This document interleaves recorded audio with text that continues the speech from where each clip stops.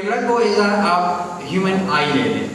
आप जिस तरह से चीज़ों को देखते हैं एज आप सोचते हैं कि यार चीज़ों को किस तरह से देख हैं हमने। इस वक्त हम मौजूद हैं व्हाइट हाउस के बाहर जहाँ पाकिस्तान से वफद आया हुआ है उनके वज्रा आए हुए हैं वज्रा खारजा आए हुए हैं। हमें इसको चैलेंज करना है यार कि नहीं वो बेचारा नहीं है। He is citizen he has equal rights इस टॉपिक का नाम है वुमेन सेक्सुअल हेरसमेंट आप देखिए जैसा बंदे का एक अगर हेड है मैं राइट भी देखता हूँ मैं लेफ़्ट भी देखता हूँ मैं ऊपर देख सकता हूँ मैं नीचे देख सकता हूँ। अब कोई सवाल करो मैं जवाब दूँ। बताएँ आप खुद ही आप अभी मैंने तो एलेबोरेट कर दिया। अच्छा। तो ना।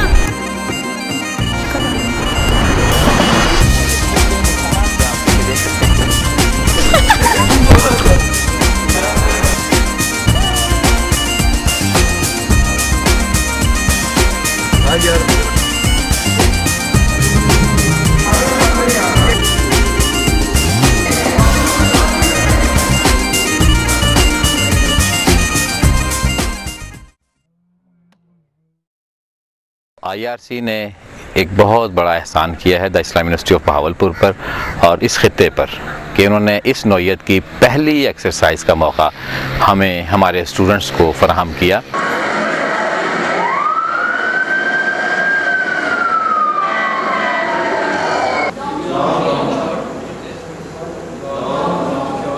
कैमरा मुझे पहले नहीं पता था किस तरह से यूज़ किया जाता है उसको मैंने यूज़ किया है उसके कुछ जो फ्रेम होते हैं कुछ शॉट्स होते हैं वो मैंने शॉर्ट सीखी हैं। जिस दिन फ़र्स्ट डे था वर्कशॉप का उस दिन तो हम लोग बहुत परेशान थे कि पता नहीं वर्कशॉप क्या होगी कैसे सीख पाएँगे नहीं सीख पाएँगे।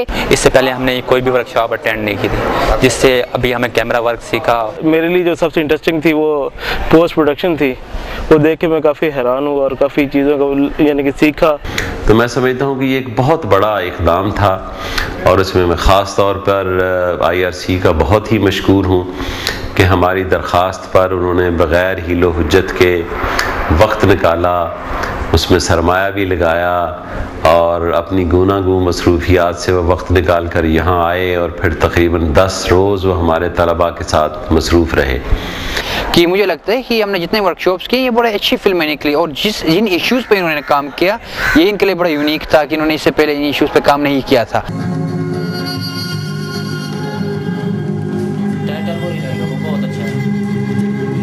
थ्योरी जो है, ये भी हम सारा साल पढ़ते हैं, लेकिन ये ट्रेनिंग जो थी आईआरसी की तरफ़ से, वो हमारे लिए एक ताज़ा हवा का झोंका थी, जिससे हमने टेक्निकली बहुत कुछ सीखा। ख़ास तौर पर ये, जो डॉक्यूमेंट्रीज़ पे काम हुआ है, वो हमारे लिए एक स्पेशल सब्जेक्ट था कि डॉक्यूमेंट्री जो है, एक शॉर्ट ड्यूरेशन में बनती है, और वो किस तरह से उसमें जो है, आप टेक्निकली मदद हासिल कर सकते हैं।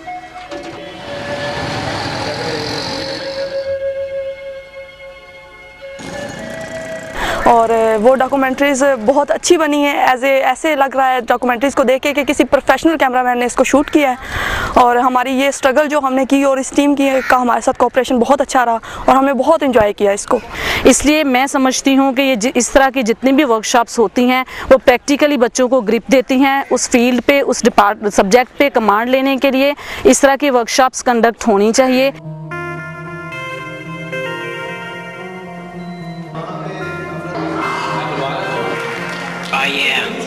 बाल्टी लग रही है। और मेरे और सदरजान के ऊपर तो बड़ा एक प्रेशर था बीच में। वो ये था कि मॉर्निंग में आके यूनिवर्सिटी में सारा उनके साथ बैठना उनसे डिस्कस करना उनको कैमरा के टेक्निक्स बताना उनको फ़ील्ड में भेजना। और जो ही रात हो जाती थी वो फुटेज लेके आ जाते हैं फिर उनको कैप्चरिंग करना फिर एडिट स्टार्ट करना। और दस दिन में हमने सात फ़िल्में भी निकालनी थी। तो एक बड़ा हैवी टास्क था तो उसमें ये हुआ कि हमें पूरी रातें लगानी पड़ी। भाई अम्मी अब्बू का बहुत लाडला था। वो मुझसे हमेशा बदतमीज़ी से बात करता। मुझे मारता, पीटता, लेकिन फिर भी उसी की सुनी जाती और डांट मुझे ही पड़ती। मुझसे घर में कोई प्यार नहीं करता था। इसकी एडिटिंग इसका स्केप यानी तमाम हवाले से मैंने बहुत सी डॉक्यूमेंट्रीज और बहुत से फीचर्स जो हैं वो देखे हैं, मुख्तलिफ़ इंटरनेशनल ऑर्गेनाइजेशन के voice of America voice of Germany की। लेकिन ये मुझे उनके अगर इसका मुकाबला उनसे किया जाए तो ये बिल्कुल एक मुनासिब और एक अच्छी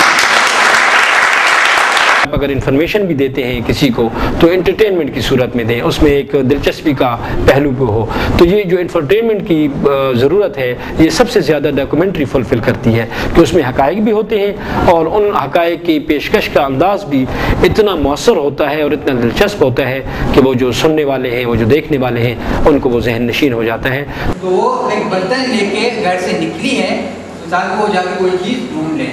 अब देखो, अब एक तस्वीर को सबने flood flood flood flood flood. जैसा कि यहाँ पे हमारे आईआरसी के डिपार्टमेंट से आए हुए हैं कुछ ट्रेनर्स जो हमारे मास मीडिया स्टूडेंट्स को ट्रेनिंग दे रहे हैं जैसा कि आप पीछे देख सकते हैं। तो लड़कियों के लिए ये बेनिफिट है कि लड़कियाँ जो है अब बोल सकती हैं अपने हक के लिए बोल सकती हैं।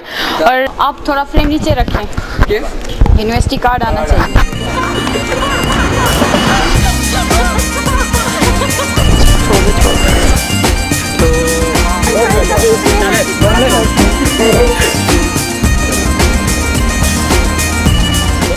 काफ़ी फ्रेंडली माहौल के अंदर हम लोगों ने कुछ सीखा। मैंने इसके थ्रू जिस डॉक्यूमेंट्री में काम किया जो ड्रामेटाइज किया उसमें मेरा एक्सपीरियंस बहुत अच्छा रहा।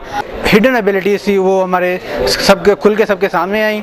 इन इसमें से हमने दो चीज़ें बहुत ज़्यादा सीखी। एक कोऑर्डिनेशन होना चाहिए किसी भी ग्रुप में और दूसरा प्री प्लानिंग होनी चाहिए। और इसके साथ मैं ये कहना चाहूँगी कि आईआरसी को चाहिए कि वो और ज़्यादा ट्रेनिंग यहाँ पर हमारे लिए यहाँ करवाए ताकि और ज़्यादा फैसिलिटेट हो सकें हमारे स्टूडेंट्स ताकि उनको प्रोफेशनली जाने के लिए ज़्यादा प्रॉब्लम्स को फेस ना करना पड़े। इस प्रैक्टिकल एक्सरसाइज को अगर हम जारी रखें, यकीन है मुझे कि आईआरसी इसको जारी रखेगी तो हम इस खत्े के बहुत सारे ऐसे पहलुओं को दुनिया के सामने ला सकते हैं, जो मस्बत भी होंगे और जिनका यकीनी तौर पर पाकिस्तान को, इस खत्े को, इस दुनिया को फ़ायदा भी होगा।